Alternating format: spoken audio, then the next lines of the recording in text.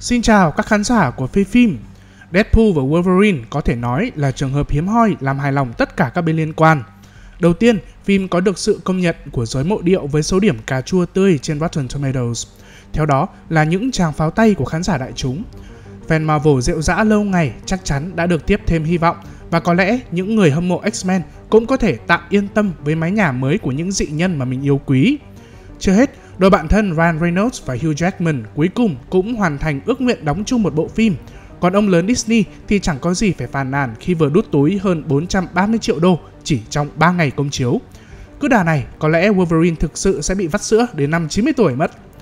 Dù vậy, với sự xuất hiện dày đặc của các nhân vật cũ cùng những chi tiết liên hệ tới comic và văn hóa đại chúng, tốc độ nói của Deadpool có thể khiến nhiều khán giả không bắt kịp thông tin cũng như ẩn ý của những câu đùa, từ đó trải nghiệm xem chưa đạt độ trọn vẹn. Nhưng đừng lo, vì giải thích chính là công việc của chúng mình. Cũng lâu rồi vì phim chưa ra video nào nhặt trứng, vậy thì tiện đây hãy cùng hâm nóng lại cuộc săn Easter egg ngay thôi nào. Lưu ý là video sẽ tiết lộ toàn bộ nội dung của Deadpool và Wolverine, nên hãy hết sức cân nhắc trước khi xem nhé.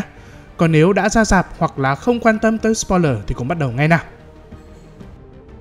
Đầu tiên, chắc hẳn ai cũng đã nhận ra cái xác của Logan yên nghỉ dưới 6 tấc đất bị Deadpool đào lên trong bộ phim cùng tên năm 2017.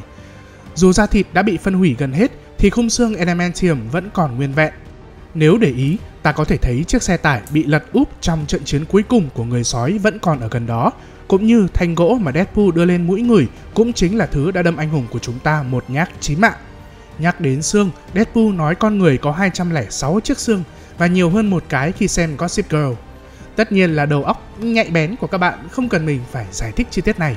Xong, việc Ryan nhắc tới phim Gossip Girl không phải là tác phẩm nào khác vì series này có sự góp mặt của Black Lively, người vợ của anh. Nếu để ý, cũng không khó để nhận ra chính cô lồng giọng Lady Pooh ở cuối phim. Đến đây thì chắc các bạn đã hiểu tại sao các Deadpool cứ thi nhau khen phiên bản nữ của mình xinh đẹp rồi đúng không? Với một đoạn intro được giản dựng tương đồng với Deadpool phần 1, ta được nghe thấy giai điệu của ca khúc Bye Bye Bye của nhóm nhạc đình đám NSYNC với phần vũ đạo được phản anh hùng của chúng ta nhảy lại y hệt trong MV. Soundtrack của phim còn có rất nhiều các ca khúc khác như là Only You của The Platters, You're All I Need to Get By, You're the One That I Want hay là cả The Greatest Show trong The Greatest Showman cũng có sự góp mặt của Hugh Jackman.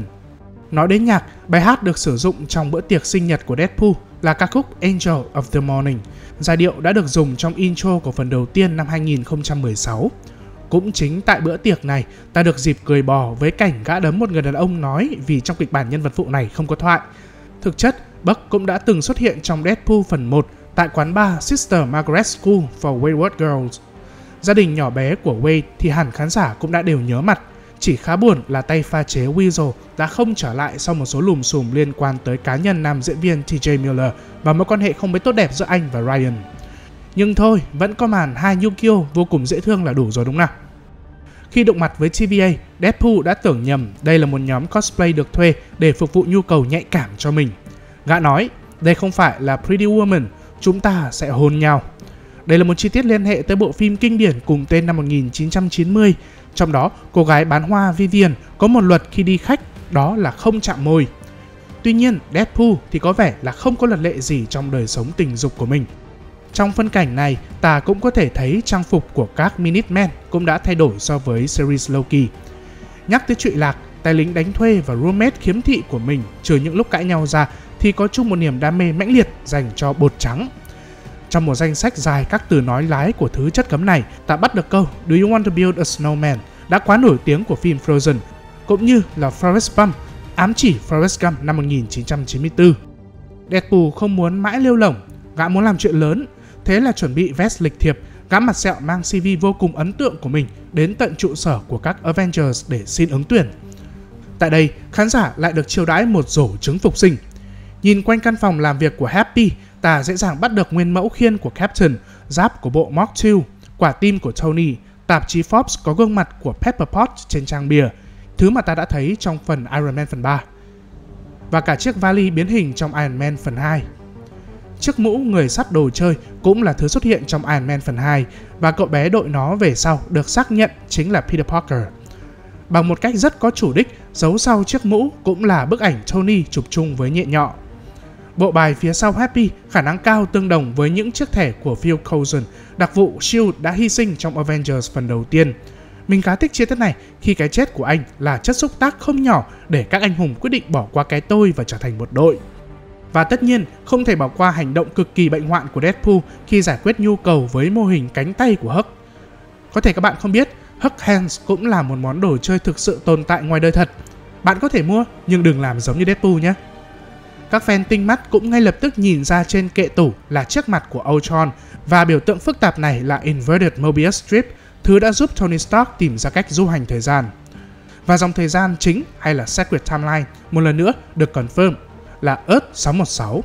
Tuy nhiên, ngay sau khi bị Happy từ chối vì CV chưa thấm ý nghĩa của việc trở thành một người hùng, Deadpool đã trở lại Earth 10005, từ đó suy ra bằng chiếc đồng hồ du hành thời gian của Cable mà ta đã thấy gã đeo trên tay. Tên lính đánh thuê này khả năng cao đã bay nhảy nghịch ngợm khắp các dòng thời gian. Và có vẻ chưa cần đợi tới thương vụ Disney mua lại Fox, hắn đã tự phá vỡ bức tường thứ tư và xin một chân ở Avengers. Quả là một kẻ thức thời phải không nào? Có lẽ vì vậy mà khi bị TVA sở gáy, Deadpool mới thuộc lầu tên của các siêu anh hùng mà mình chưa từng gặp mặt. Trên mạng vẫn đang có rất nhiều giả thuyết, nên nếu bạn có suy nghĩ khác thì hãy comment ở phía bên dưới nhé.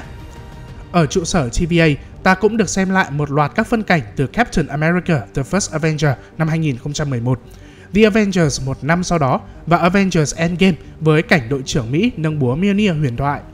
Tuy nhiên, tất cả đều phải lu mờ trước phân cảnh này – Thor ôm Deadpool chuẩn bị hy sinh và khóc như thể cả hai là anh em chí cốt, y hệt như trong phần phim thứ hai của thần sấm. Không rõ là trong hoàn cảnh nào và phải đến năm bao nhiêu thì ta mới được xem tuyệt tác này, nhưng chắc chắn nếu xảy ra, đây sẽ là một cú hít vòng vé. Khi được mời vào dòng thời gian chính, Deadpool đã nói The face of power in the Marvel Universe is about to change.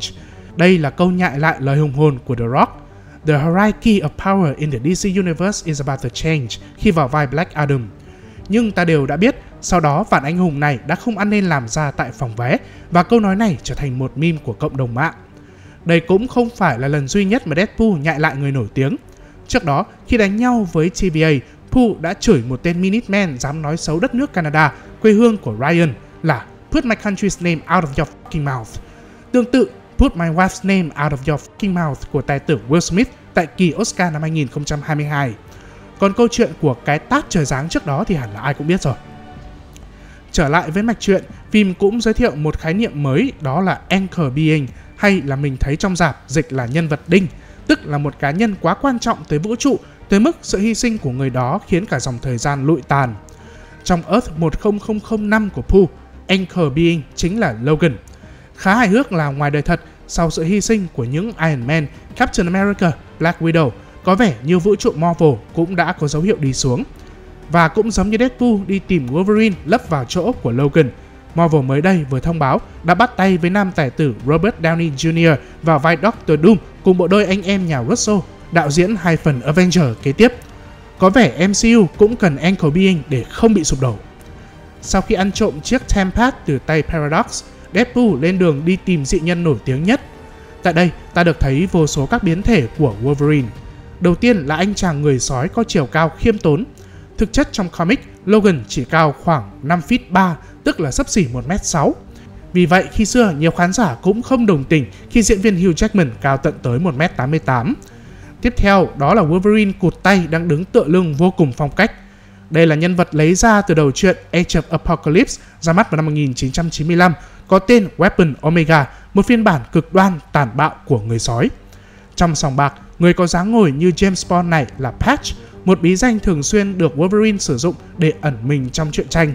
Không rõ nhiệm vụ mật ở đây là gì, nhưng sau đó Patch vẫn ngang nhiên xòe móng và đâm Deadpool trước mặt tất cả mọi người. Hết bị đâm rồi đến bị ăn đạn, người đàn ông với khẩu súng trường và chiếc mũ cao bồi này không ai khác chính là Old Man Logan, một trong những Logan nổi tiếng nhất và cũng là nhân vật mà bộ phim năm 2017 đã lấy cảm hứng. Tiếp theo, chúng ta được nhìn thấy một thế giới chẳng khác nào phim kinh dị với Wolverine bị treo trên biểu tượng chữ X cùng với một núi đầu lâu nhuốm máu. Đây là chi tiết được lấy từ bìa truyện Uncanny X-Men số 255 của họa sĩ Mark Silvestri xuất bản năm 1989. Có thể các bạn chưa biết, Wolverine thực chất xuất hiện lần đầu trong The Incredible Hulk số 180. Vì vậy, ta cũng được thấy một phân cảnh Pooh gặp Hulk trong chuyến du ngoạn của mình và ăn đòn hệt như Loki đang tự nhận mình là một vị thần.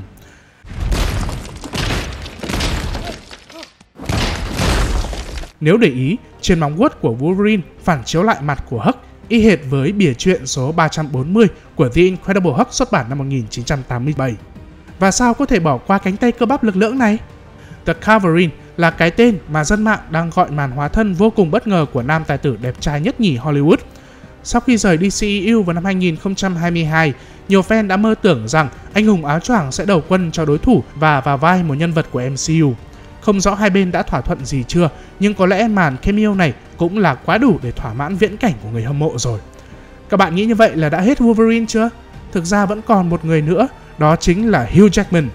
Trong phân cảnh đưa Logan về TVA, Deadpool đã đùa rằng người sói này còn đóng được cả nhạc kịch. Ngoài đời, Hugh Jackman là một siêu sao Broadway với khả năng nhảy và ca hát vô cùng ấn tượng. Trong năm 2020, anh cũng đã từng trở lại sân khấu kịch với The Music Man, cái tên cũng được Deadpool nhắc tới trong phim. Theo mạch diễn biến, sau khi chào hỏi nhau, Deadpool và Wolverine bị đẩy xuống The Void. Tại đây, chúng ta lại tiếp tục phải căng mắt để tìm ra những chi tiết thú vị. Nhìn qua đại cảnh trước, đập vào mắt ngay lập tức chính là logo của 20th Century Fox, studio vừa bị Disney mua lại. Những con Navas này đã từng xuất hiện trong series Loki. Khi ra chiến trường, cả nhóm đi qua chiếc tàu hình bánh donut của quân đoàn Thanos và trước đó cũng có một con Chitauri Levithian, kẻ đã phá hoại không ít trong trận chiến ở New York. Chiếc Helicarrier đổ nát này là của SHIELD, còn chiếc Benatar thuộc về đội vệ binh giải ngân hà. Trên mặt đất có rơi chiếc mũ hình đôi cánh của Thor trong comic cùng khiên của Cap trong The First Avengers. Tất nhiên là không thể bỏ qua cả bức tượng Scarlet Witch khổng lồ trong phân cảnh này. Dù không rõ, nhưng hình như đây là bìa của đầu truyện Secret Wars có hình Doctor Doom. Khi mơ về Thor rồi bừng tỉnh, ta thấy Deadpool nằm trên chiếc giường giống hệt của Hulk trong phần Ragnarok và một tòa tháp của Asgard cũng đã xuất hiện trong phân cảnh sau đó. Nhiều fan hâm mộ nói về chiếc xe Pyro lái trong phân cảnh này thuộc về phản diện Red Skull. Mình không tự tin với chi tiết này, song chiếc xe của bộ tứ siêu đẳng thì chắc chắn không thể nhìn nhầm được. Đây chính là chiếc Fantastic Car trong comic, thậm chí còn có cả biểu tượng của tổ đội này. Bên cạnh, ta cũng có thể thấy chiếc xe chở kem mà Moon Knight đã lái trong series cùng tên. Tuy nhiên, dù là xe gì thì chắc chắn nó cũng không thể cứng bằng chiếc Honda Odyssey có thể chịu đựng một trận đánh nhau từ sáng cho tới tối của hai dị nhân. Doanh số của dòng sản phẩm này có lẽ sẽ tăng vọt sau khi phim công chiếu. Đám tùy tùng của Cassandra Nova ăn mặc và độ xe giống hệt như loạt phim Mad Max huyền thoại.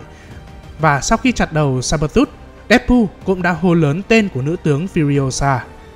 Một chi tiết mà có thể các bạn đã bỏ qua, đó là khi bị hút bởi chiếc nam châm khổng lồ, Deadpool và Wolverine đã đứng theo tư thế của Jack và Rose trong Titanic. Và chiếc chân đã đập vào mặt cả hai thuộc về một con Sentinel, sản phẩm của tiến sĩ Bolivar Trask, có nhiệm vụ truy lùng và tiêu diệt các X-Men trong phần Days of Future Past. Nhân vật đại diện cho câu nói X chết tại miệng chắc chắn thuộc về Johnny Storm hay là Human Torch của Fantastic Four ra mắt năm 2005. Với vẻ ngoài y hệt Captain America, song anh này lại giống Deadpool ở khoản mau miệng hơn là đội trưởng Mỹ. Kết cục là bị Cassandra Nova xử tử vô cùng đau đớn, không khác gì một pha fatality trong Mortal Kombat. Tiếp theo, chúng ta có Elektra, nhân vật lần đầu tiên xuất hiện trong Daredevil năm 2003, thủ vai bởi minh tinh Jennifer Garner.